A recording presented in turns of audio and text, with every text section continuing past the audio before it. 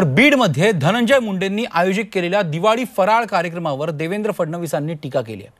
शेतकरी संकटात असताना यांची नाच गाणी चालू आहेत असा टोला फडणवीसांनी लगावलाय.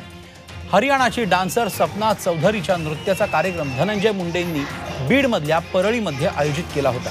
या कार्यक्रमावरून आता ही टीका होती. एकीकडे शेतकऱ्यांच्या आत्महत्या चाललेल्या आहेत दुसरीकडे एस टीचा संप चालला आहे आणि हे नाच गाणे करण्यात मग्न आहे. आणि हे आम्हाला सांगून राहिले की भारतीय जनता पक्षाला गाडून टाकू. मी यांना एवढंच सांगतो भारतीय जनता पक्षाचा एक कार्यकर्ता हा देखील तुम्हाला पुरेसा आहे. तुमचा मुकाबला करण्याकरता पुरेसा आहे. त्यामुळे कृपया अशा वल्गना करू नका. सामान्य माणसाच्या हिताचं काय काम आपण करू शकतो हा प्रयत्न तुम्ही करा. पुण्यातील तेरा एस टी डेपो मध्यरात्रीपासून बंद आहेत. जोपर्यंत मागण्या पूर्ण होत नाहीत तोपर्यंत काम सुरू करणार नाही अशी भूमिका एस टी कामगारांनी घेतली आहे. प्रवाशांचे हाल आम्ही करत नसून सरकार करत आहे असं कामगारांचं म्हणणं आहे. त्यामुळे स्वारगेट डेपोमध्ये मोठ्या प्रमाणावर प्रवाशांची गर्दी झाली आहे. महाराष्ट्रात अनेक ठिकाणी एस टी महामंडळाच्या कर्मचाऱ्यांनी डेपो बंद करून काम आंदोलन काम बंद आंदोलन सुरू केलं. मात्र काही कर्मचारी अद्यापही एस टीची प्रवासी वाहतूक करत आहेत. अशा सर्व काम करणाऱ्या कर्मचाऱ्यांना केळीचं वाटप मालेगाव आगारात करण्यात आलं.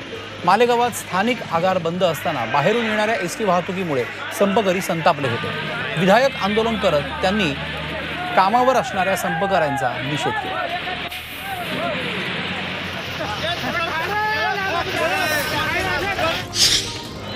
धुळे आणि नंदुरबार जिल्ह्यामध्ये रात्री बारा वाजल्यापासून सर्व एस टी कामगार आणि कर्मचाऱ्यांनी संप पुकारला त्यामुळे ऐन दिवाळीमध्ये सुट्टी घेऊन आलेल्या प्रवाशांचे प्रचंड हाल होत आहेत. या दोन्ही जिल्ह्यांमध्ये नऊ आगारामध्ये कर्मचारी संपावर गेलेत.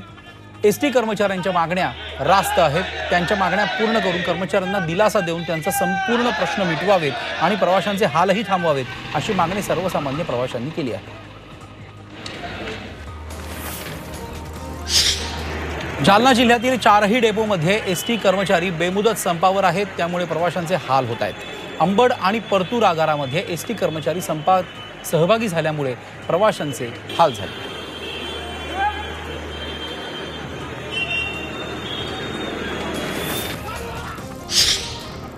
अरबी समुद्रातल्या कमी दाबाच्या पट्ट्यामुळे राज्यात आणखी दोन दिवस पावसाळी स्थिती राहण्याची शक्यता आहे. त्यानंतर दिवसाच्या तापमानात काहीशी वाढ होईल असंही म्हटलं जात आहे गेल्या चोवीस तासात कोकणात आणि मध्य महाराष्ट्रात काही ठिकाणी पावसाने हजेरी लावली पुढील अठ्ठेचाळीस तासात कमी दाबाच्या क्षेत्राची तीव्रता घटणार आहे.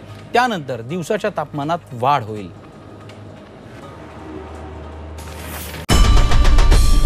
आई भवानीचा गजर. म्हणजे